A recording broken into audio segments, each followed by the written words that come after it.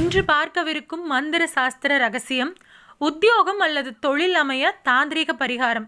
நீங்கள் யாரை குருவாக ஏற்றுக்கொண்டு இருக்கிறீர்களோ அவருக்கு ஒரு மஞ்சள் வேஷ்டி ஒரு துண்டு ஒரு பெண்ணாக இருந்தால் மஞ்சள் நிற சேலை மற்றும் காலணி செருப்பு.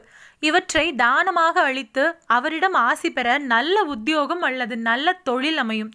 மஞ்சள் நிற புஷ்பராகக்கள் தங்க மோதிரத்தில் பதித்து வலதுகை நடுவிரலில் அணிந்து கொண்டால் வேலை வாய்ப்புகள் தேடி வரும் தொழில் சிறக்கும். தினமும் காலையிலும் மாலையிலும் விளக்கேற்றுதல் சாம்பிராணியுடன் குங்கிலியம் சேர்த்து தூபம் போடுதல் கோமியத்துடன் கோமுக நீர் கலந்து வீடு முழுவதும் தெளித்தல் பழைய பொருட்களை அகற்றுதல் ஓடாத கடிகாரங்களை சரிபார்த்தல் ஒழுகும் பைப்புகளை சரி செய்தல் இவைகளை செய்தால் தொழிலில் உள்ள தடைகள் நீங்கி வெற்றி உண்டாகும்.